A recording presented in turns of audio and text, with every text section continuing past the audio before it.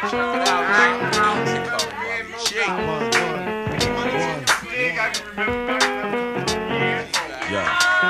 Now I'ma say this once again, open up your mind. The shot heard around the world came from our fresh rhymes. The contribution is showbiz. Mixed with entertainment, resurrected rhymes, not the same old same. Now if you like what we came with, And you feel you can sing with it. Peep the verbal language and the way we arranged it. Now edutainment to make the people applaud. I'm not trying to say my style is better than yours. I'm from the graduating class of 1988 LA Unified School MAH. A gangbanger from the streets taught me how to break in South Central LA. Hey yo, can you Yeah, relate? I'm Charlie Tuna, the one who puffed the Buddha, keep the snapple in the cooler. Used to go to junior high with Sun Dula, old schooler. A permanent element in your tournament, telling it prevalent, never delicate when we burning Now from LA to the UK, we attempt to rock the party. The vibe and the music, you don't hear that no more hardly.